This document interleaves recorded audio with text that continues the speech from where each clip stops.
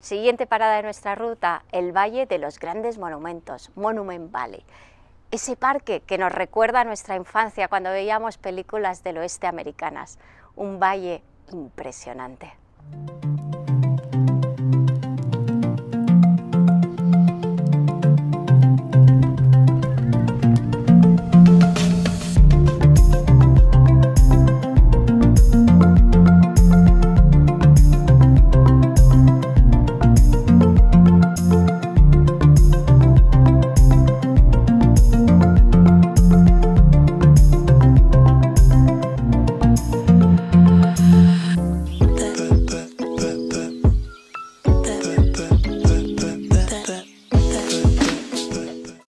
Nuestra llegada a Monument Valley fue un poco apoteósica, digámoslo así. Empezamos con un tornado y una tormenta de arena.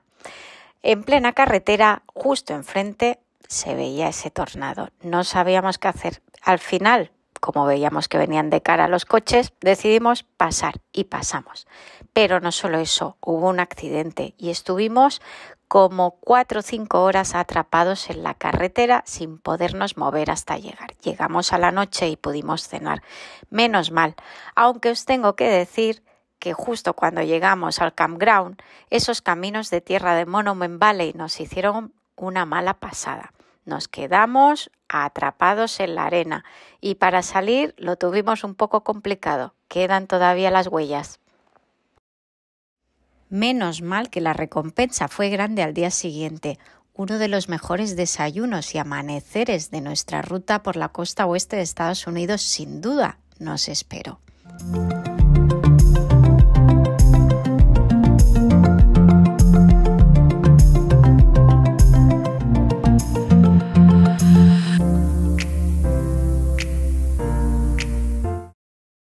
Y después de tan buen desayuno y amanecer, pues nos pusimos en marcha hacia allá dentro del parque nacional, bueno, no es nacional, perdón, parque de Monument Valley, que no es un parque nacional, sino es un parque de los indios navajos.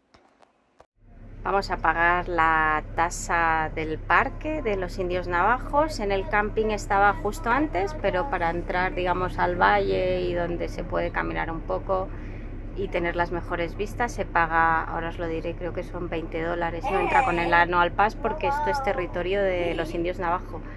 Entonces es una tasa de los propios indios.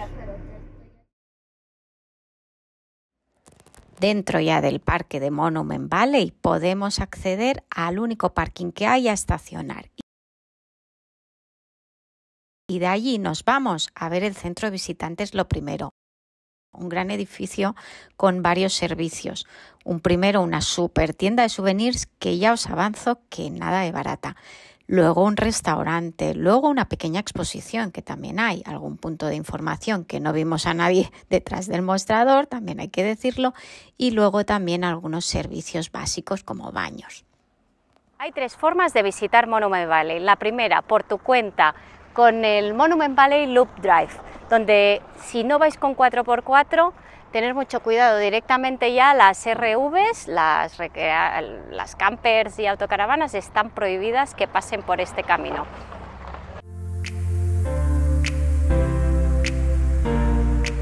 La segunda forma de visitar Monument Valley a pie, con el Wildcat, Wildcat Trail, que no me sale. Eh, es una ruta muy pequeñita, de 3 millas solo, 4 kilómetros y medio aproximadamente, y que se puede ver pues, estos monumentos a pie, que es como nosotros lo vamos a hacer en este caso. Es como ir por la playa, ¿verdad, chicos?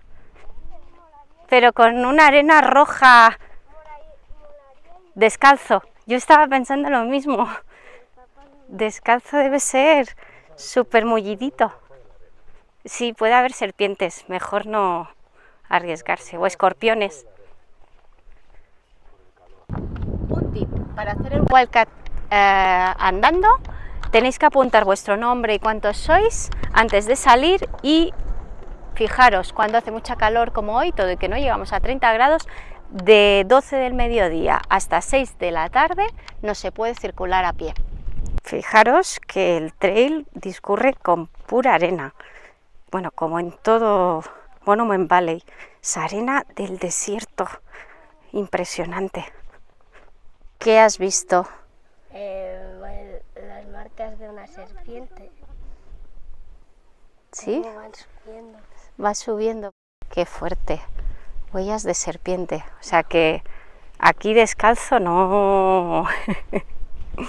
La tercera forma de visitar el parque en un 4x4, como el que estáis viendo en un tour guiado de los indios navajo. Por un módico precio podéis hacer la Scenic Road, pero bien acompañados y con un buen vehículo.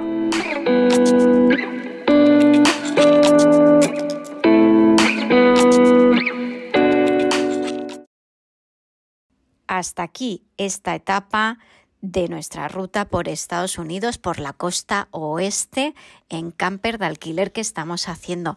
Recordar, suscribiros al canal para no perderos las próximas etapas de nuestra ruta. Y recordar que la mejor manera de ayudarnos es comentarnos abajo en comentarios y dar un like a este vídeo. Se os quiere y hasta el próximo episodio donde viene algo muy, muy grande.